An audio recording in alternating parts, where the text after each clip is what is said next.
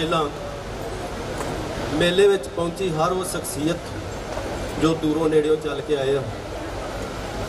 ਉਹਨਾਂ ਦੇ ਉਹ ਕਦਮ ਮੇਰੇ ਸਿਰ ਮੱਥੇ ਆ, ਜਿਹੜੇ ਸਾਡੇ ਬੁਲਾਵੇ ਤੇ ਆਪਣੇ ਨਿੱਜੀ ਕੰਮਾਂ ਕਾਰਾਂ ਨੂੰ ਛੱਡਦੇ ਹੋਏ ਇੰਨੀ ਗਰਮੀ ਦੇ ਵਿੱਚ ਆਣ ਕੇ ਬੈਠੇ ਆ। ਮੇਲੇ ਦਾ ਆਨੰਦ ਮਾਣ ਰਹੇ ਆ, ਮੇਲੇ ਦਾ ਮਾਣ ਵਧਾ ਰਹੇ ਆ। ਸਭ ਤੋਂ ਪਹਿਲਾਂ ਮੇਲਾ ਸ਼ੁਰੂ ਕੀਤਾ ਸੀ ਮੇਰਾ ਵੱਡਾ ਵੀਰ ਸਰਪੰਚ ਜਸਵੰਤ ਸਿੰਘ। ਜੋ ਅਕਸਰ ਮੇਰੇ ਦਿਲ 'ਚ ਵੱਸਦਾ ਸਰੀਰਕ ਤੌਰ ਤੇ ਮੇਰੇ ਨਾਲ ਨਹੀਂ ਆ। ਪਰ ਫਿਰ ਵੀ ਕਿਤੇ ਨਾ ਕਿਤੇ ਮੈਨੂੰ ਉਹ ਮਹਿਸੂਸ ਹੋ ਰਿਹਾ। ਮੈਂ ਉਹਨੂੰ ਯਾਦ ਕਰਦਾ।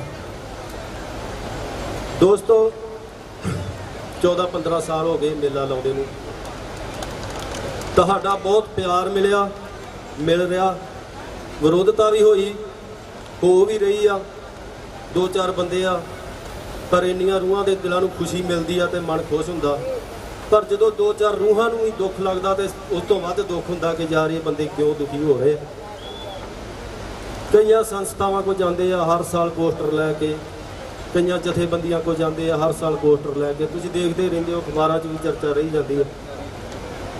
ਸੋ ਦੋਸਤੋ, ਮੇਲਾ ਬਹੁਤ ਵਧੀਆ ਚੱਲ ਰਿਹਾ ਸੀ, ਚੱਲਦਾ ਰਹੂਗਾ। ਪਰ ਮੈਂ ਇੱਕ ਨਿੱਕੀ ਜਿਹੀ ਸਾਰੀ ਆਪਣੀ ਟੀਮ ਦੇ ਨਾਲ ਸਲਾਹ ਕੀਤੀ ਆ ਸਰਪੰਚ ਆਜ਼ਾਦਵੀਰ ਸਿੰਘ ਸੂਰਤਾ ਸਿੰਘ ਪ੍ਰਤਾਪ ਵੀਰ ਸੋਨਵਾਦੀ ਹੋਰ ਵੀ ਆਪਣੇ ਗੋਪਸਵੀਰ ਬਲ ਬਤਾਲੇ ਵਾਲਾ। ਸਾਰਿਆਂ ਨੇ ਇੱਕੋ ਸਲਾਹ ਕੀਤੀ ਆ ਕਿ ਆਪਾਂ ਇਸ ਮੇਲੇ ਦਾ ਟਾਈਮ ਚੇਂਜ ਕਰ ਦਈਏ। ਮੇਲਾ ਨਹੀਂ ਬੰਦ ਹੋਊਗਾ। ਗਰਮੀ ਬਹੁਤ ਹੁੰਦੀ ਆ ਇਹਨਾਂ ਦਿਨਾਂ ਦੇ ਵਿੱਚ। ਸੋ ਪ੍ਰਬੰਧ ਕਰਨਾ ਜਾਂ ਸਭ ਤੋਂ ਵੱਡੀ ਪ੍ਰੋਬਲਮ ਕੀ ਆਉਂਦੀ ਆ ਕਿ ਇਹਨਾਂ ਦਿਨਾਂ ਦੇ ਵਿੱਚ ਸਿੰਗਰ ਸਾਰੇ ਬਾਹਰ ਚਲੇ ਜਾਂਦੇ ਆ। ਹੈਲੋ ਉਹਨਾਂ ਨੂੰ ਲੱਭਣਾ ਬਹੁਤ ਔਖਾ ਹੁੰਦਾ। ਸੋ- ਕਿਤੇ ਨਾ ਕਿਤੇ ਥੋੜੇ ਜੇ ਉਦਾਸ ਮਨ ਨਾਲ ਤੇ ਖੁਸ਼ੀ ਨਾਲ ਤੁਹਾਨੂੰ ਸਭ ਨੂੰ ਇਹ ਦੱਸ ਰਿਹਾ ਕਿ ਅਗਲੇ ਸਾਲ ਤੋਂ ਅੱਜ ਦੇ। ਦਿਨ ਮੇਲਾ ਨਹੀਂ ਲਾਵਾਂਗੇ। ਕੱਢ ਦੋ ਕੱਢ ਦੋ। ਇਹ ਉਹ ਲੋਕ ਮੇਲਾ ਲਾਉਣਗੇ ਜਿਹੜੇ ਦੋ ਚਾਰ ਬੰਦੇ ਮੈਨੂੰ ਨਫ਼ਰਤ ਕਰਦੇ। ਤੇ ਅਸੀਂ ਇਹ ਮੇਲਾ ਸਿਆਲ ਦੇ ਵਿੱਚ ਲਾਵਾਂਗੇ ਠੰਡੇ ਦਿਨਾਂ ਦੇ ਵਿੱਚ ਪਰ ਇਸ ਤੋਂ ਵੱਡਾ ਲਾਵਾਂਗੇ।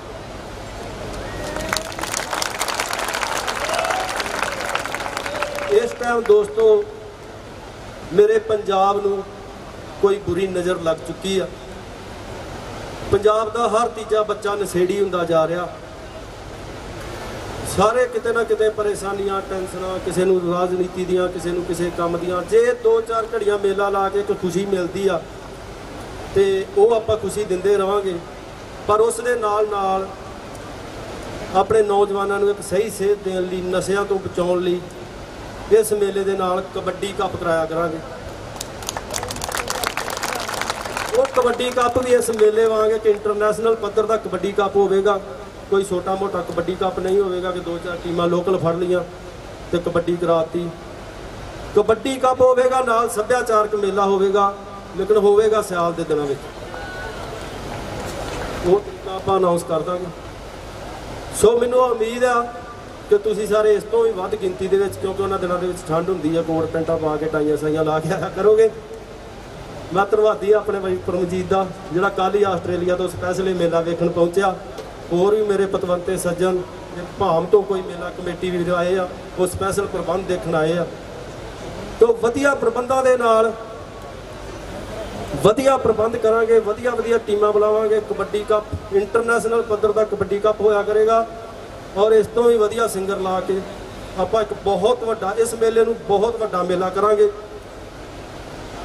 ਉਸ ਮੇਲੇ ਦਾ ਨਾਂ ਮੇਲਾ ਥਾਣੇਵਾਲ ਦਾ ਨਹੀਂ ਹੋਏਗਾ। ਉਸ ਮੇਲੇ ਦਾ ਨਾਂ ਹੋਏਗਾ ਚਾਹਲ ਕਬੱਡੀ ਕੱਪ ਤੇ ਸੱਭਿਆਚਾਰਕ ਮੇਲਾ।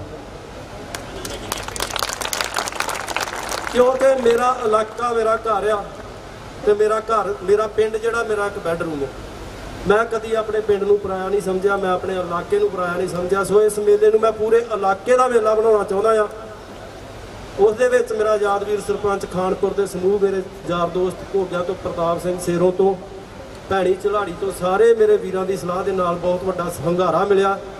ਸੋ ਇਸ ਮੇਲੇ ਨੂੰ ਆਪਾਂ ਵਿਸਾਲ ਇੱਕ ਵੱਡਾ ਮੇਲਾ ਕਰਦੇ ਹੋਏ ਚਾਹਲ ਕਬੱਡੀ ਕੱਪ ਤੇ ਸੱਭਿਆਚਾਰਕ ਮੇਲਾ ਜੋ ਸਿਆਲ ਦੇ ਦਿਨਾਂ ਵਿੱਚ ਮੇਨ ਸੜਕ ਦੇ ਉੱਤੇ ਕਿਤੇ ਵੀ 2-3 ਕਿੱਲੇ ਜ਼ਮੀਨ ਖਾਲੀ ਵੇਖ ਕੇ ਲਗਾਇਆ ਜਾਇਆ ਕਰੂਗਾ।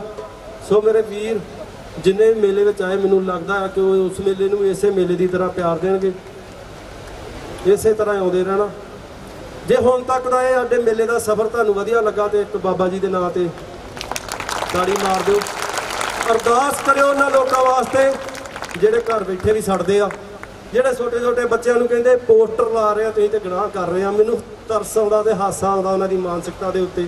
ਉਹ ਪਾਗਲੋ ਕਿਤੇ ਹੱਸ ਖੇਡ ਵੀ ਲਈਦਾ 24 ਘੰਟੇ ਕਬਜ਼ ਨਹੀਂ ਕਰਾ ਕੇ ਤੁਰੇ ਫਿਰੀਦਾ। ਸੋ, ਜੇ ਕਿਸੇ ਵੀਰ ਨੂੰ ਮੇਰੀਆਂ ਗੱਲਾਂ ਕਿਉਂਕਿ ਮੇਰਾ ਇੱਕ ਪਤਾ ਨਹੀਂ ਮੇਰਾ ਸੁਭਾਅ ਹੈ ਮਾੜਾ ਹੈ ਕਿ ਚੰਗਾ ਵਾ, ਮੈਂ ਕਦੀ ਪਿੱਠ ਪਿੱਛੇ ਗੱਲ ਨਹੀਂ ਕਰਦਾ, ਮੇਰੀ ਪਿੱਠ ਪਿੱਛੇ ਜਿੰਨੀਆਂ ਮਰਜ਼ੀ ਹੋ ਜਾਣ, ਮੈਂ ਮੂੰਹ ਤੇ ਗੱਲ ਕਰਨ ਵਾਲਾ ਬੰਦਾ ਆ। ਤੇ ਮੂੰਹ ਤੇ ਹੀ ਕਰਦਾ ਰਹੂੰਗਾ। ਸ਼ਾਇਦ ਇਸੇ ਗੱਲੋਂ ਮੈਂ ਕਈਆਂ ਨੂੰ ਕੌੜਾ ਲੱਗਦਾ ਵਾਂ, ਪਰ ਬਹੁਤ ਜ਼ਿਆਦਾ ਲੋਕ ਮੈਨੂੰ ਪਿਆਰ ਵੀ ਕਰਦੇ ਆ। ਸੋ ਇਸੇ ਤਰ੍ਹਾਂ ਸਾਥ ਦਿੰਦੇ ਰਹਿਣਾ। ਉਸ ਮੇਲੇ ਤੇ ਵੀ ਵੱਧ ਤੋਂ ਵੱਧ ਇਸੇ ਤਰ੍ਹਾਂ ਹੀ ਪਿਆਰ ਦੇਣਾ। ਜਿਉਂਦੇ ਵਸਦੇ ਰਹੋ। ਜਲਦੀ ਮਿਲਾਂਗੇ ਇੱਕ ਨਵੇਂ ਮੇਲੇ ਦੇ ਨਾਲ, ਪਰ ਠੰਡ ਦੇ ਦਿਨਾਂ ਵਿੱਚ। ਵਾਹਿਗੁਰੂ ਜੀ ਕਾ ਖਾਲਸਾ, ਵਾਹਿਗੁਰੂ ਜੀ ਕੀ ਫਤਿਹ।